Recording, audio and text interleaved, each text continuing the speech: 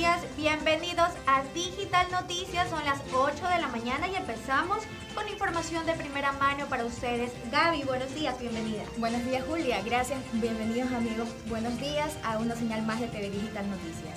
Comenzamos con la primera noticia. COE Nacional dice que confinamiento parcial ha sido exitoso. Si bien el número de quienes esperan una cama en cuidados intensivos se redujo en estas dos semanas, la cifra continúa alta. Si los resultados son buenos, no gana el COE nacional, gana el país porque son vidas humanas, aseguró.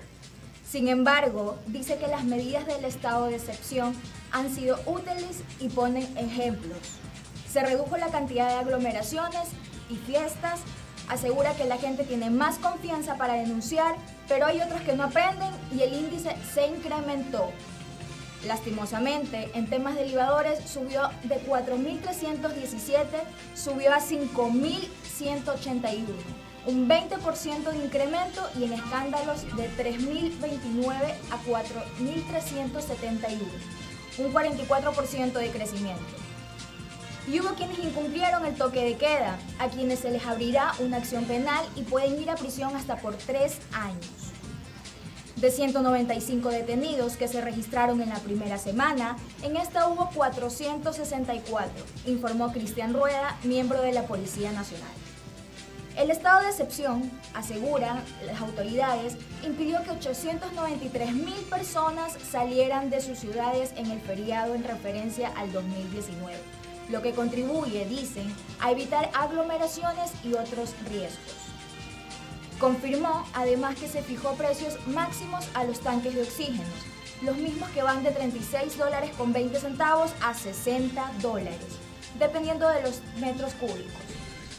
Pidieron que en el Día de la Madre se evite las reuniones familiares, pues nadie sabe si puede ser un caso asintomático y que la evaluación completa en el campo de la salud se dará el próximo domingo. El primer informe de resultado de lo que va del estado de excepción. Gaby, sin duda alguna, todo el proyecto es exitoso si tiene la colaboración masiva de los ciudadanos. Podemos hablar de un confinamiento exitoso si efectivamente las restricciones puestas y que ya todos conocemos se cumplen. Así es, mi querida Julia. Debemos tomar conciencia que no solamente es el, trabajo del CODE Nacional, sino el trabajo de nosotros, los ciudadanos, eh, que debemos de cumplirlo a carta cabal con todas las disposiciones. Simplemente es cuidándonos y cuidando a nuestras familias, pues, ¿no? Totalmente. Se viene un Día de la Madre ese domingo, así que a tener mucha precaución. Amamos a nuestra madre, sin duda quienes no vivimos con ella queremos eh, pasar un día lindo, pero lamentablemente se puede eh, llegar a, interpretar como la libertad de celebrar el Día de la Madre sin ningún problema. Pero hay un problema en sí, que es que los casos de, de coronavirus, de COVID-19, están subiendo aquí en Ecuador, así que hay que ser muy responsables con este tema. En otras noticias, amigos, hombre secuestró a su jefe por una deuda de 3.800 dólares. Esto ocurrió en Guayaquil. Denuncias ciudadanas y labores de inteligencia permitieron que la unidad de antisecuestros y extorsión permitieran capturar a dos hombres y una mujer en delito flagrante. Horas antes, las tres personas habían secuestrado a un empresario oriundo de Babahoyo, quien sería el jefe de uno de los secuestradores. Según el informe policial, el empleado recurrió a esto para que le paguen 3.800 dólares que le adeudaba. La captura de los implicados se dio en el sector de Samanes, norte de Guayaquil. Ahí habían citado a los familiares para que hagan la entrega del dinero y ellos de la víctima, quien habría estado retenida en un hotel del centro de la ciudad. Los detenidos ya fueron procesados y pese a que los capturaron en delito flagrante, les dictaron medidas sustitutivas como la presentación periódica ante un juez y prohibición de salida del país. Pero la investigación continúa. Según el Código Orgánico Integral Penal, el delito de secuestro es penado hasta con 7 años de prisión en nuestro país. La policía alerta a la ciudadanía que en situaciones como esta denuncien a tiempo para evitar ser víctimas de estas redes delictivas. wow, como toda una película de terror sin duda. Imagínate, Julia, ¿quién se iba a imaginar que un colaborador iba a secuestrar a su jefe? ¿Hasta dónde hay que llegar por esa deuda que, estaba pendiente, no?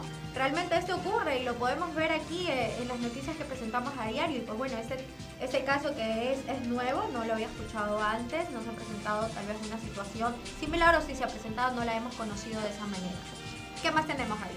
Seguimos. Asaltaron a pasajeros en un bus en la vía perimetral de Guayaquil. En la imagen se logra apreciar a un joven de cabellera afro, vestido con chompa azul y mascarilla, quien portaba un revólver acercándose al conductor para amedrantarlo y pedirle que metros más adelante detuviera la marcha del bus, para que subiera otro de los malientes que estaba armado. Sin embargo, los pasajeros ya eran asaltados por otros antisociales que haciendo usos de cuchillos quitaron las pertenencias de los ocupantes del transporte público. Algunos pasajeros del bus que estaban sentados en la parte posterior, al notar el robo, se levantaron de sus asientos y se aglomeraron en las últimas filas para evitar que les quitaran sus objetos de valor. El robo tuvo una duración de dos minutos, tiempo suficiente para que los asaltantes pudieran desvalijar a todos los usuarios. Es realmente preocupante esta situación eh, que cada ciudadano que necesite, tenga la necesidad de coger eh, los transportes públicos, no puedan estar seguros. Realmente es una situación que preocupa, Julia. Más que preocupante, pues asusta saber que no estamos eh, resguardados, que no tenemos seguridad, que lamentablemente quienes no tenemos vehículo propio y usamos buses, los utilizamos para dirigirnos a nuestro lugar de trabajo, a, a nuestras casas, pues no sabemos en qué momento nos van a robar. Y uno está como, con esa paranoia de saber qué pasa, quién se sube. De pronto veo a cada rato atrás para ver si no hay algo raro. Esperemos que algún día podamos tener la tranquilidad de andar tranquilos por las calles sin, sin temor a que nos roben, a que seamos víctimas de la delincuencia. Con noticias nacionales, Gaby, seguimos y es que la variante de COVID-19 andina y de Brasil ya circulan en Guayaquil. Veamos. El Centro de Investigaciones de la UES dio a conocer ayer 3 de abril el reporte de vigilancia genómica de SARS-CoV-2 durante el mes de abril para dar seguimiento de las variantes emergentes, tomando muestras provenientes de pacientes en estado crítico de unidades de cuidados intensivos y de laboratorios privados. Así se registra el primer caso de la variante P1, variante de Brasil, en la ciudad de Guayaquil. Asimismo, siete registros de la variante inglesa en la urbe. La recién llegada, la C37 o también llamada la variante andina, ya reporta dos casos en la ciudad, mientras que detectaron dos casos de reinfección de la variante de Nueva York en pacientes. Podemos concluir que en la ciudad de Guayaquil se registran variantes de preocupación, tales como la variante inglesa y la variante brasilera. También registramos la presencia de variantes de interés como la variante andina y la variante New York, que presenta una alta incidencia en la ciudad durante el último mes, resalta un comunicado. Así, el 68% de las muestras analizadas de Guayaquil pertenecen al linaje. Por otro lado, en la ciudad de Cuenca se da el primer registro de la variante de Nueva York, el reporte además revela la infección con variante B1 en un neonato con síntomas, graves. Asimismo, un registro de variante derivada de la de Nueva York.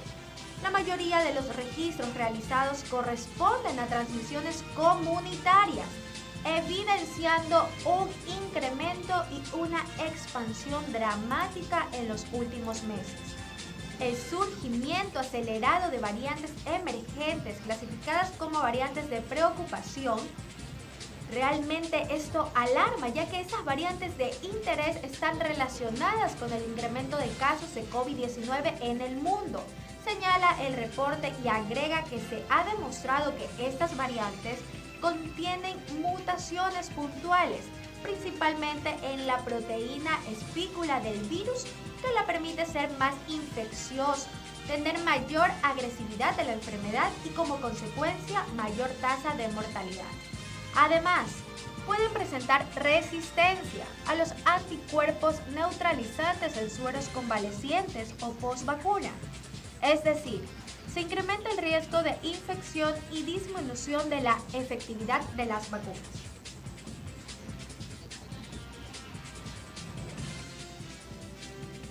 Seguimos con más noticias, amigos. Prisión preventiva para conductor que atropelló a agente civil de tránsito durante controles por toque de queda en Guayaquil. El agente civil de tránsito Wilson Novoa González permanece en terapia intensiva y bajo pronóstico reservado en un hospital privado de Guayaquil, luego de haber sido impactado por una camioneta que pretendió evadir un punto de control fijo de la Agencia Nacional de Tránsito y Movilidad, ATM, en horarios de toque de queda. El hecho ocurrió a las 11 y 40 de la noche del viernes 30 de abril en la avenida Camilo Ponce Enríquez, a la altura del distribuidor de tráfico de La Perimetral. El conductor, al percatarse del control, realizó una maniobra con la que primero impactó los conos reflectivos instalados en la vía, para luego golpear a la gente. El toque de queda comenzó en medio del apuro de conductores y transeúntes en Guayaquil y otras localidades de 16 provincias del país. Una ambulancia del Cuerpo de Bomberos de Guayaquil trasladó al herido hasta un centro médico privado donde permanece aislado y en condición crítica. El conductor huyó, pero fue interceptado por personal de la Policía Nacional a la altura del distribuidor de tráfico de la avenida Francisco de Orellana Perimetral y lo trasladaron hasta la Unidad Judicial de Florida, en donde el fiscal de tránsito de Fragancia solicitó al perito la prueba de alcoholemia. El resultado salió positivo, por lo que el hombre quedó en calidad de aprendido, para luego ser calificada la prisión preventiva.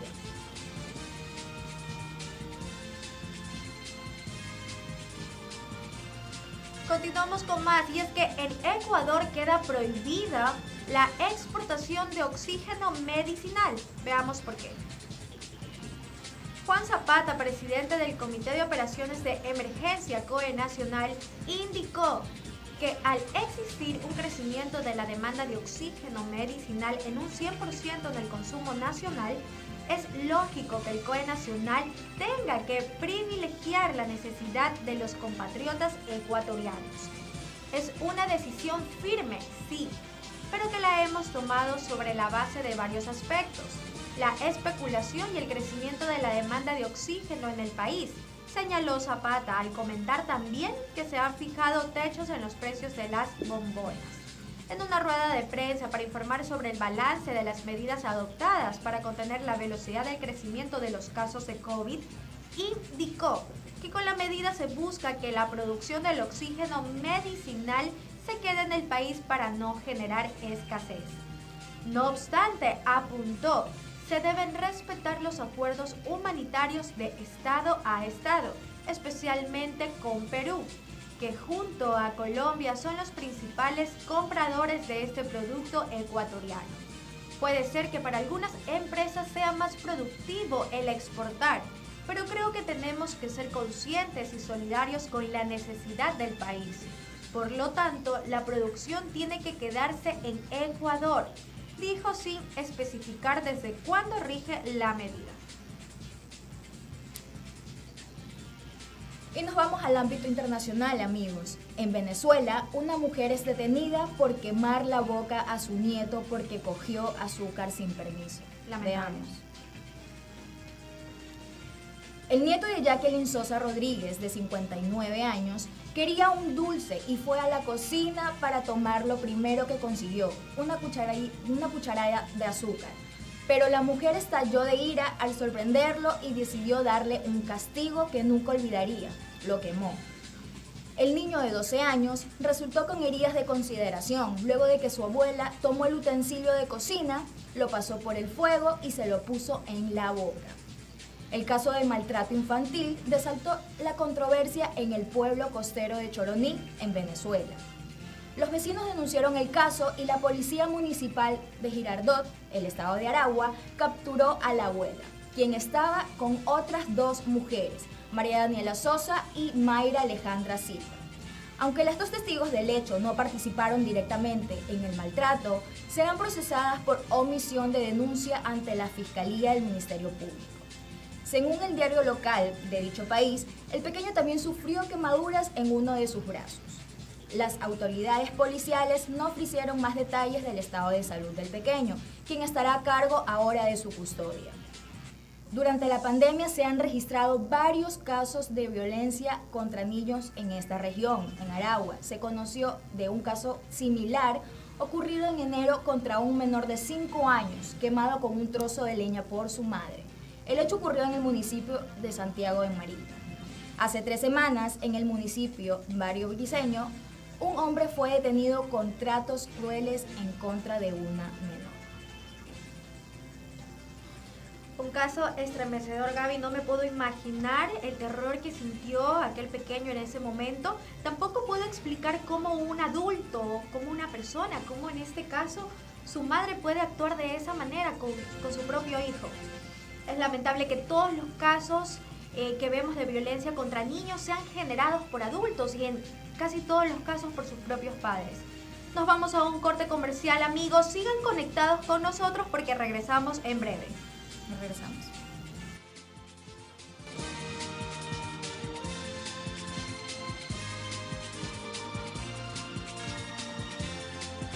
Inicio del espacio publicitario. Inicio del espacio publicitario.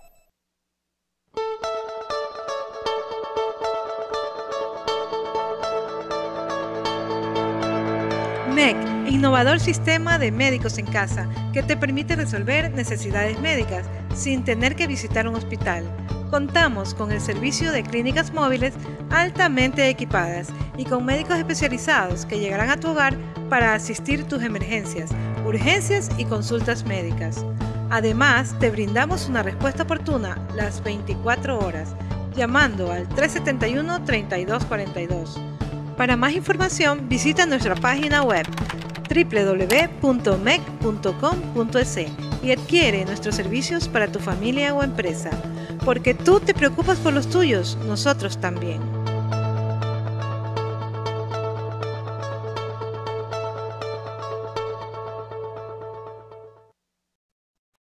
Invierte tus utilidades y renueva tu casa con Mueblerías Palito. Aprovecha nuestro 25 y 30% de descuento en salas y comedores todo el mes de abril. Paga en efectivo y llévatelo todo con descuento. Invierte bien tus utilidades solo en Mueblerías Palito. Excelencia en muebles.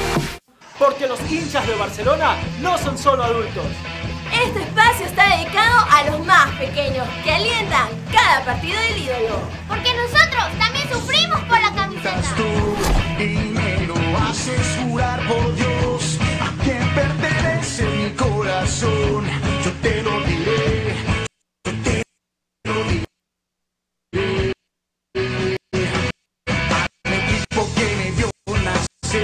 Bienvenidos a Barce Kids, un programa para los pequeños barcelonistas de la casa. Con nosotros conocerás más de cerca a tus ídolos favoritos del equipo más grande del Ecuador. Y también de nosotros las futuras promesas del ídolo. Conocerás a las futuras promesas del ídolo y su desarrollo. Y esto es Barce Kids.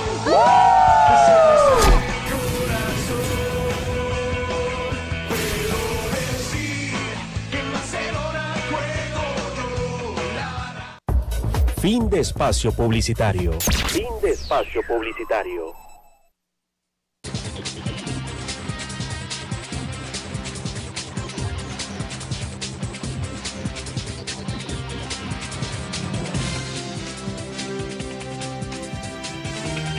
Regresamos. Gracias por seguir en sintonía de Digital Noticias. Ahora nos vamos a Manaví, donde clausuraron Gallera, donde se reunían más de 300 personas. Esto ocurrió en Santa Ana. Una denuncia anónima permitió que se localice una gallera ubicada en la comunidad Las Guayjas, esto en el cantón Manavita de Santa Ana, donde se mantenían reunidas a más de 300 personas la tarde del lunes 3 de mayo. Galo Palma, comisario de policía de Santa Ana, confirmó la cantidad de personas que se hallaron en el lugar. El sitio fue clausurado por funcionarios que participaron del operativo. En esta gallera se evidenció consumo de alcohol, varias personas sin utilizar mascarilla y sin distanciamiento. También venta de comida ambulante, motos sin documentación de respaldo que fueron retenidas por la policía. Además, en el operativo se decomisó una balanza, un reloj digital y un pizarrón de apuestas. Esta gallera está ubicada cerca a una zona densa montañosa. Seguimos con más noticias.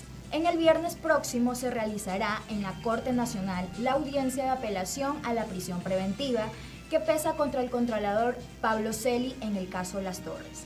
Veamos. Este viernes 7 de mayo a las 11 de la mañana, un tribunal de la Corte Nacional de Justicia resolverá el pedido de apelación a la prisión preventiva contra el controlador subrogante Pablo Celi, el exsecretario general de la presidencia José Augusto Briones y cinco personas más que son procesadas por el delito de delincuencia organizada que habría ocurrido desde la Contraloría General del Estado, Petroecuador y la Presidencia de la República. En este caso, desde el 14 de abril pasado, la Fiscalía formuló cargos contra nueve personas que estarían relacionadas con una estructura que habría exigido pagos indebidos a cambio del desvanecimiento de glosas y de la liberación del pago de planillas correspondientes a contratos suscritos entre Petroecuador y la empresa No Limit entre el 2017 y el 2020. En este caso, el juez de la CEN, Felipe Córdoba, además del controlador Celi y el ex secretario Augusto Briones, ordenó prisión preventiva para Esteban Celi y Luis Augusto Briones, hermano del controlador y el ex secretario. Respectivamente a Angelo R., Andrés L. y Silvia L., a excepción de esta última, quien, quien fue internada en el Centro de Mujeres de Chillo Gallo, en el sur de Quito. El resto permanecen en la denominada Cárcel 4, ubicada en el norte de la capital. Para completar la lista de nueve personas a las que el fiscal general Diana Salazar les formuló cargos, a Natalia Cárdenas, ex asesora del ex gerente de Petroecuador Pablo Flores, el juez Córdoba emitió la medida presentación, de la presentación periódica y uso del grillete electrónico mientras que para Elsie Cueva, madre del exgerente Flores, no ordenó medida cautelar alguna, pero sigue siendo parte de los procesados a quienes se les abrió una instrucción fiscal de 90 días. En este mismo caso se está a la espera de que se fije día y hora para una audiencia en la Fiscalía, que vinculará a cinco personas más, pues durante la investigación se habrían encontrado datos que le hacen presumir a Salazar de la participación en el delito investigado de personas requeridas.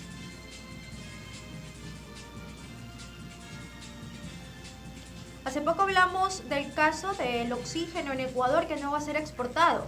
Pero ¿sabían ustedes que el costo límite de la recarga del oxígeno medicinal oscila entre 36 a 60 dólares? Veamos. El Comité de Operaciones de Emergencia COE Nacional anunció que solicitará la prohibición de exportación de tanques de oxígeno medicinal, salvo en temas humanitarios de Estado a Estado y contratos que ya hayan sido pactados con anterioridad. Las autoridades también regularán el precio para la venta de este insumo médico, de acuerdo con su volumen. Los 6 metros cúbicos se fijarán en 36 hasta los 48 dólares y de los 10 metros cúbicos a 60 dólares. Se le ha dado la disposición hasta el día de hoy para que el Ministerio de Salud genere el requerimiento hacia el Ministerio de la Producción con la finalidad de dejar en firme ya la prohibición de exportación de oxígeno medicinal explicó así Juan Zapata, presidente del COE. Las razones, explicó Zapata, se debe a la alta demanda del oxígeno en medio de la emergencia sanitaria por COVID-19.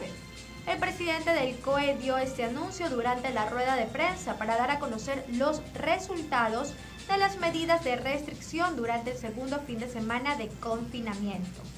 En ese espacio, Salomón Proaño, viceministro de Atención Integral del Ministerio de Salud Pública, indicó que en tal virtud es posible asegurar que las medidas ayudarán a disminuir los contagios. La Agencia Nacional de Regulación, Control y Vigilancia Sanitaria alertó que el oxígeno medicinal es aquel cuyo tanque es de color blanco. Así que atención con esto, señores, ya saben que el oxígeno que debemos utilizar y que está autorizado eh, mediante controles es el de color blanco. Asimismo, ya conocieron los precios por los que oscila el tanque de oxígeno aquí en nuestro país. No se deje engañar, por favor. No compre con precios exagerados ese oxígeno. Es verdad que en momentos de angustia, de desesperación por el COVID, no sabemos cómo actuar, no sabemos a quién acudir, pero es importante conocer estos datos. Continuamos, Gaby, cuéntanos. Y entre otras noticias, estos son los tres procesos contratados del municipio de Guayaquil que investiga la Fiscalía. Alcaldesa Cintia Viteri debe comparecer este martes 4 de mayo. Dentro de la investigación que inició la Fiscalía General del Estado a funcionarios del municipio de Guayaquil, entre ellos la alcaldesa Cintia Viteri y un contratista por presunto delito de peculado, este martes la principal del Cabildo porteño deberá comparecer ante la Fiscalía del Guayas en el edificio La Merced, ubicado en las calles Córdoba y Víctor Manuel Rendón. Alfredo Contreras, su procurador síndico de contratación pública, y Javier Álvarez, gerente de la Fundación Guayaquil Siglo XXI, fueron convocados para las 9 y 10 y 11 de la mañana de este lunes respectivamente. No obstante, ambos no se presentaron. Según el impulso, fiscal conocido el fin de semana, la investigación abarcará tres procesos contratados por el municipio de Guayaquil. Uno de ellos es el contrato de proyecto de letras y vidas, que estipula el servicio de diseño, producción, coordinación técnica, conceptual y logística del proyecto cultural artístico de pintado de 50 paredes en la vía pública, con frases de escritores y artistas guayaquileños o que han vivido en la urbe. En la gestión de la alcaldesa de Guayaquil, Cintia Viteri, en el periodo de mayo del 2019 a mayo del actual año, la Fundación Municipal de Siglo XXI ha contratado 105.9 millones en 252 procesos, cuyo objeto ha sido la fiscalización de proyectos, consultorías, construcción y mantenimiento de obras. En este último rubro se incluye la limpieza de calles, piletas y lagunas artificiales, para lo cual la Fundación ha destinado en la actual administración 22 millones en 17 contrataciones. De estas, 13 procesos por 19.9 corresponden al trapeado y barrido exclusivo de áreas regeneradas, según los registros del Servicio de Contratación Pública, CERCOP, en el periodo de mayo del 2019 hasta mayo del actual año. La mayor contratación municipal en el rubio del trapeado de calles y avenidas se dio en el año de la pandemia con 12 procesos por 19.7 millones de dólares. En torno a ello, el cuestionamiento es que por las mismas tareas en años anteriores se pagaron montos inferiores.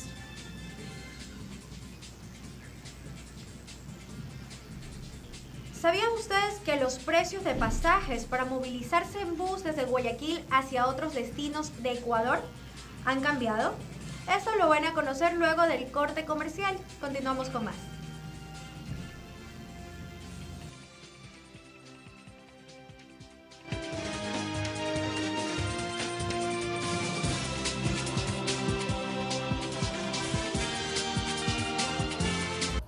Inicio del espacio publicitario. Inicio del espacio publicitario. Invierte tus utilidades y renueva tu casa con Mueblerías Palito. Aprovecha nuestro 25 y 30% de descuento en salas y comedores todo el mes de abril. Paga en efectivo y llévatelo todo con descuento. Invierte bien tus utilidades solo en Mueblerías Palito. Excelencia en muebles.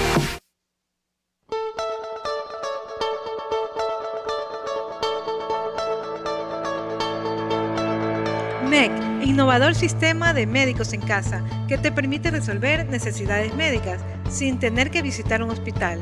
Contamos con el servicio de clínicas móviles altamente equipadas y con médicos especializados que llegarán a tu hogar para asistir tus emergencias, urgencias y consultas médicas. Además, te brindamos una respuesta oportuna las 24 horas, llamando al 371-3242. Para más información, visita nuestra página web www.mec.com.es y adquiere nuestros servicios para tu familia o empresa. Porque tú te preocupas por los tuyos, nosotros también.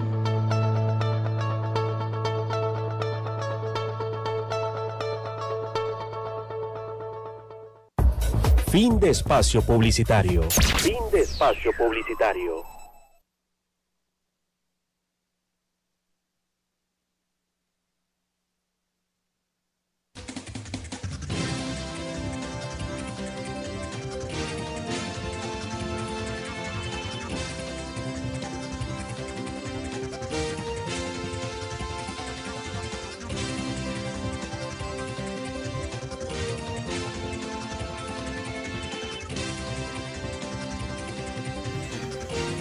Lo que anunciamos antes del corte, Gabriela, y es que los precios de pasajes para movilizarse en buses de Guayaquil hacia otros destinos de Ecuador han cambiado. Conozcamos cómo oscilan estos precios.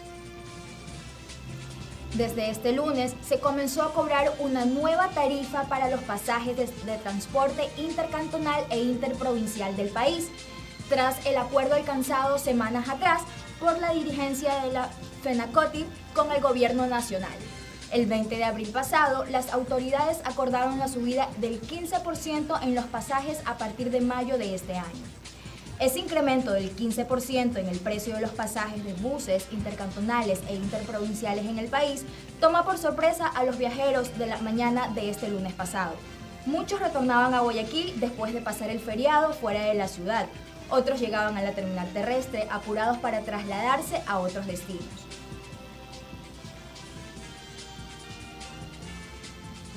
Mucha atención con esto, ya los precios han cambiado, lo acabamos de dar de conocer, así que si ustedes utilizan transporte público ya saben en cuánto oscilan pues los precios ya eh, autorizados a cobrarse a partir de este lunes, ¿no? ¿Qué pasó?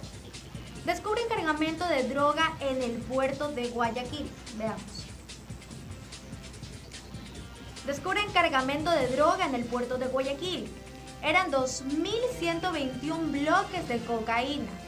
El cargamento estaba en este contenedor repleto de cajas de banano y que iba a ser exportado desde el puerto en el sur de la ciudad. Cuando los agentes de la unidad de puertos WIPA abrieron el contenedor, encontraron 36 bultos con 2.120 bloques de cocaína. La droga estaba en el área de preembarque lista para subir al buque. Según el director nacional de antinarcóticos, el contenedor fue contaminado dentro de la terminal portuaria. En el cargamento más grande decomisado en el sistema portuario de este año. La ruta de la droga empezó en Colombia. Luego la cocaína fue ingresada al puerto de Guayaquil y su destino final era Rusia. Los bloques tenían seis logos diferentes. En Europa el valor del cargamento es de 127 millones. Las autoridades de antinarcóticos están verificando las cámaras de seguridad de la terminal para determinar cómo los narcotraficantes pudieron ingresar 2.212 bloques de cocaína. En Ecuador este año el decomiso de drogas se ha duplicado. De enero a mayo del 2020 se incautaron 25 toneladas, mientras que en el mismo periodo del 2021 la cifra ascendió a 50 toneladas. Los territorios más apetecidos por los narcos son Países Bajos, España y Bélgica, que aglutinan casi el 60% de los casos. Este año han sido capturadas 18 personas por este delito. Entre los sospechosos hay funcionarios de las terminales portuarias. Y como nosotros nos preocupamos por la seguridad e integral, y, y, la integración suya, todo con respecto a su seguridad, usted puede descubrir cómo, cómo cuidar que la delincuencia no ataque su empresa, no ataque su negocio. Esto lo vamos a saber gracias a Max Security. Nuestro especialista John Garaycoa nos va a presentar el siguiente segmento.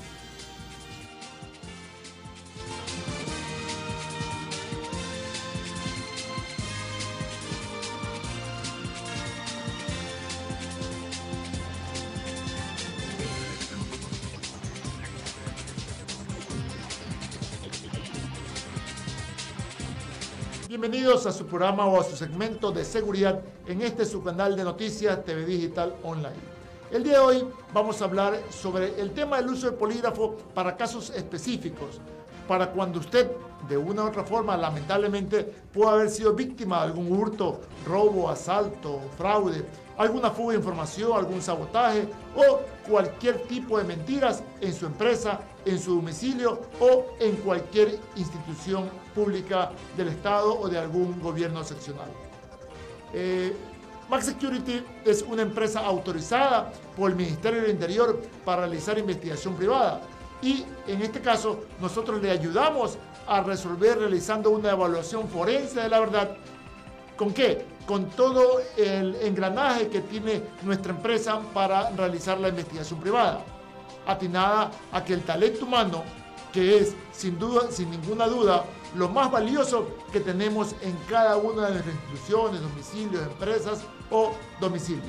Sin embargo, también se pueden dar o se pueden cometer fraudes internos que no han sido detectados por la gerencia. O, eh, eh, en ocasiones eh, hay que hacer un determinado control de rutina para la continuidad del negocio o actividades domiciliarias. Esto es importante en cada una de las empresas de domicilio porque, como les decía, en ocasiones el gerente, el dueño, el propietario, el jefe, es el último en enterarse cuando se están cometiendo actos ilícitos dentro de cualquier tipo de institución, negocio o domicilio. La corrupción es un problema multimillonario en todo el mundo. Según el Instituto Mundial, más de un mil millones de dólares son pagados en sobornos anualmente. El reporte anticorrupción de la Unión Europea encontró que la corrupción cuesta 185 mil millones por año detrás de los 28 países de la Unión Europea. Por ende, esto no es sorpresa, porque la corrupción es el mayor obstáculo para el desarrollo económico y social de cualquier país, de cualquier ciudad, de cualquier institución y, por qué no, domicilio y empresa.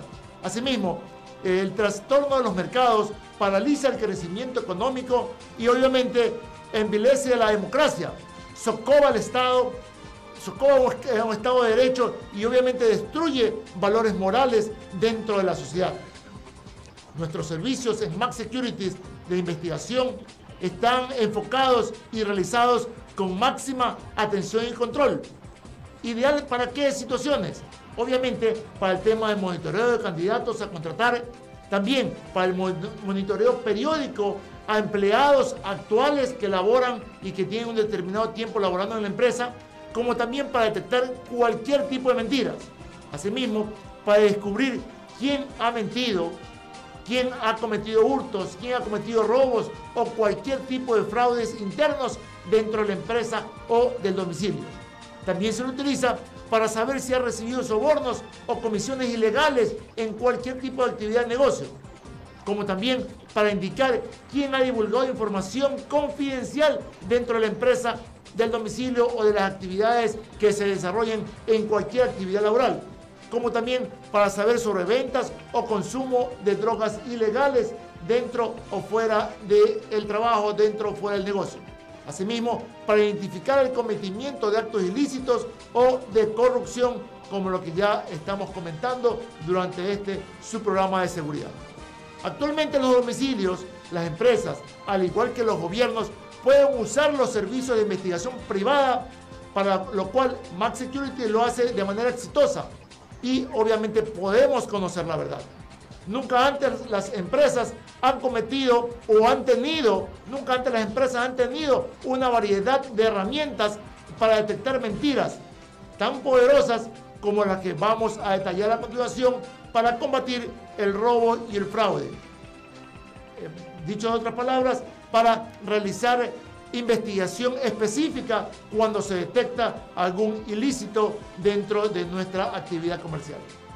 Toda investigación se realiza siempre bajo el consentimiento de la persona, siguiendo cada prueba un estándar y políticas de decisión internacional definido tales como la presentación, la explicación del objetivo de la investigación, explicación y el desarrollo de la prueba. También se da la explicación científica del equipo y cómo funciona la tecnología a utilizar por ende, se hace firmar la autorización voluntaria del examen de polígrafo Max Security Se procede con la entrevista, el registro, el análisis, el resultado e informe final.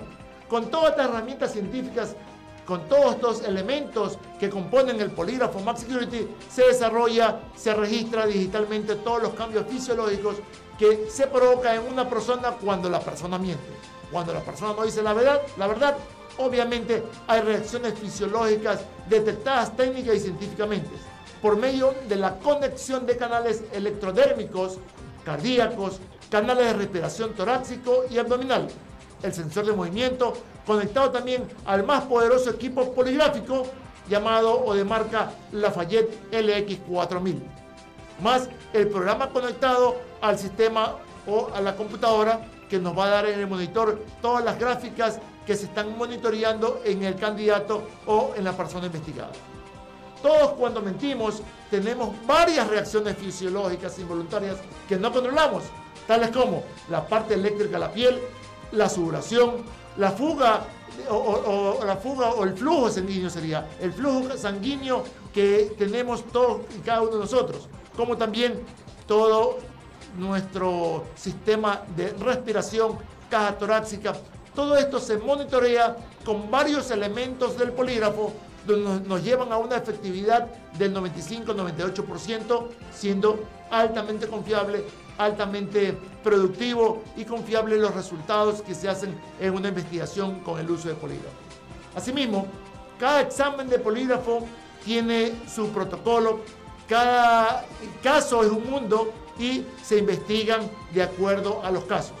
Como por ejemplo, si vamos a investigar el tema del uso o el consumo de drogas ilegales, se va a preguntar sobre si usted alguna vez ha consumido drogas ilegales, si usted alguna vez ha consumido drogas ilegales en su puesto de trabajo, si usted alguna vez ha vendido drogas ilegales dentro o fuera del negocio, si usted sabe quién comercializa, comercializa drogas ilegales dentro o fuera del trabajo, Todas estas son preguntas que tienen que ver cuando uno hace consultas con respecto a drogas. No obstante, cuando una persona admite en la entrevista de investigación que ha consumido drogas ilegales, obviamente hay un ajuste a la pregunta para que el resultado sea en base a lo que la persona ha manifestado, en base a su honestidad, en base a lo que ha hecho anteriormente. Porque el hecho que haya consumido drogas una vez no quiere decir que sea drogadicto. ¿Qué tal si ha consumido drogas hace 10 años atrás? Obviamente la pregunta va a cambiar. ¿Usted en los últimos 5 años ha consumido drogas ilegales? La respuesta va a ser no y el resultado va a ser que no está mintiendo. Recordemos que una entrevista, recordemos que una investigación con el uso de polígrafo es un examen también de honestidad y las personas tienen que ser honestas en el antes, durante y después. Entonces, si la persona admite determinado consumo, se va a hacer el ajuste de la pregunta. De la misma manera, se la aplica para cualquier tipo de preguntas de acuerdo a las admisiones, de acuerdo al caso, de acuerdo a lo que se está investigando. Para proceder con todo este protocolo de investigación con el uso del polígrafo, es importante que cada uno de los poligrafistas, cada uno de los investigadores tengan un determinado perfil para tal. Y por ende, el investigador tiene que ser muy intuitivo y tiene que tener una perseverancia para llevar a, cabo, para llevar adelante el proceso investigativo en un trabajo que tiene que ver con el perfil de la persona. Por ende, tiene que ser un poligrafista con bastante discreción profesional, alta discreción profesional inclusive. Por ende, con gran sentido de justicia, porque muchas veces uno recibe una determinada, determinada, información y eso en ningún momento lo tiene que sesgar. Por eso es importante tener el sentido de justicia para analizar cada uno de los casos. Asimismo, hemos tenido casos donde el cliente dice, tengo sospecha de tal persona, y que resulta que es otra persona, y, esa persona a la que uno está declarando culpable es una persona de confianza, pero se ha podido determinar que es la persona que ha fallado por abuso de confianza, por robo, por la oportunidad que tuvo para cometer tal o cual ilícito. Asimismo, los poligrafistas debemos tener una buena capacidad analítica para el análisis como tal de cada uno de los casos que son indistintos. Cada caso es un mundo. Por ende, una alta honestidad a toda prueba, sin duda, para poder ser un investigador a carta cabal. Y por ende también hay que tener un gran liderazgo, una gran responsabilidad para atender cada uno de los casos para enfrentar cada uno de los casos, para demostrar, ¿por qué no?, cuando ha existido una situación de irresponsabilidad, de negligencia, de, de dedicación en cada uno de los casos que uno investiga y analiza. Por ende, hay que tener mucha independencia en la toma de las decisiones. Cuando uno hace una investigación, luego hay un resultado. ¿Qué resulta? Que luego ese resultado uno puede entregar al cliente el determinado resultado para que el cliente tome la decisión de qué hacer en base al informe que uno presenta. Pero en otras ocasiones hay la necesidad de realizar confrontaciones. ¿Y qué pasa? Cuando tenemos un resultado negativo y queremos que la persona se sincere, queremos que la persona admita, queremos que la persona nos dé detalles, nos amplíe su versión.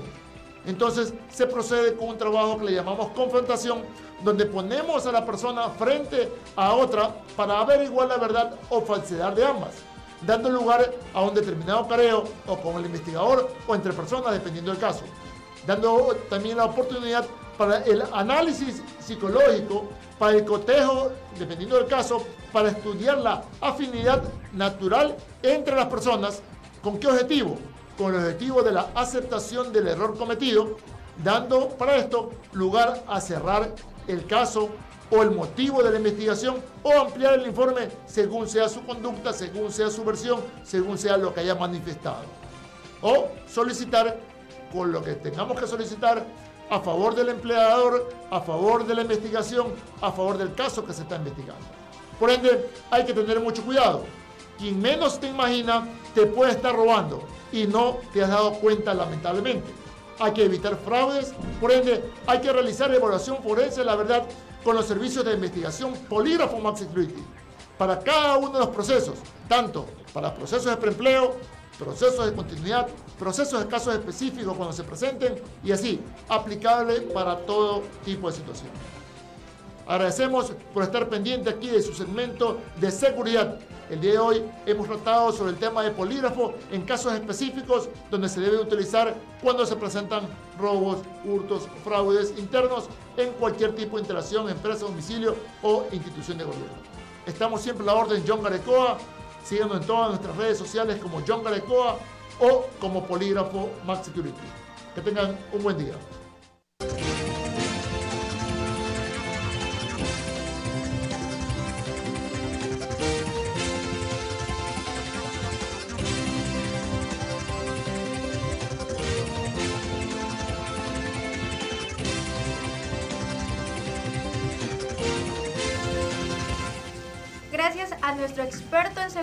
John Garaycoa, propietario de Max Security, por tan valiosa información. Antes de continuar, Gaby, tú nos tienes una excelente recomendación. Así es, mi querida Julia. Y es que si aún les queda dinero de sus utilidades, no, duren, no duden en visitar a Mueblerías Palito. Y es que extendieron sus promociones. Invierte tus utilidades y renueva tu sala, comedor o dormitorio en Mueblerías Palito, con descuentos hasta el 30% en pago en efectivo. Aprovechen esas promociones, sin duda alguna, Mueblerías Palito tiene los mejores muebles para nosotros. Continuamos con más y nos vamos al plan de vacunación. ¿Cómo se está ejecutando en Guayaquil? Hay una novedad al respecto y es que se solicitará que se incluya en la siguiente fase de vacunación al personal de entregas a domicilio y conductores de buses y taxis. Veamos. Al gobierno entrante se presentará una solicitud para que las personas encargadas de los envíos a domicilios y los choferes de buses y taxis de Guayaquil entren en la siguiente fase de vacunación contra el COVID-19. Así lo dio a conocer el vicealcalde de la ciudad, Josué Sánchez, tras una reunión mantenida la mañana de este lunes 4 de mayo con representantes de distintos gremios productivos de Guayaquil, con quienes se comprometió la semana pasada a entregar un millón de dólares para apoyar la reactivación de pequeños y microempresarios como capital de trabajo. Sánchez agregó que además se pedirá al gobierno entrante que asuma el 24 de mayo, luego de su posición, la pronta llegada de más vacunas y de ser necesario colaborar con el contingente necesario para ampliar los puntos de inoculación en la urbe. Añadió también que se sigue trabajando con los gremios locales para promover el concepto de jornada laboral las 24 horas con tiempos diferenciados de entrada y salida en empresas e industrias, a fin de evitar aglomeraciones en los sistemas de transporte público. Para ello, la próxima semana los gremios presentarán una propuesta de horarios. Sánchez ratificó que los, los encargos a domicilio, delivery, de todo tipo de negocios están autorizados las 24 horas del día en Guayaquil, incluyendo el horario de toque de queda y los fines de semana. Durante toda la semana lo pueden hacer dentro de los horarios de toque de queda. Los emprendedores y dueños de pequeños negocios pueden enviar especialmente ahora que se acerca el Día de la Madre. Hemos habilitado una línea en la ATM para reportar inconvenientes en ese momento y que no caigan en una retención o citación de vehículo. Pudimos conocer, Gaby, que se va a considerar que en la próxima fase de vacunación entren las personas encargadas de, eh, motorizar, de enviar pues, a domicilio eh, diferentes pedidos, porque ahora está muy en boga el tema del delivery. Y es muy, importante que los choferes que se encargan de, llevar eh, esto a domicilio pues sean también considerados, como ya lo dio a conocer el vicealcalde de Guayaquil. Aparte, los choferes de buses y taxis sin duda alguna es primordial y poco a poco, pero eso sí, con paso firme todos nos vamos a involucrar a esta fase de vacunación. Gaby, esto ha sido todo por hoy. Gracias amigos por acompañarnos.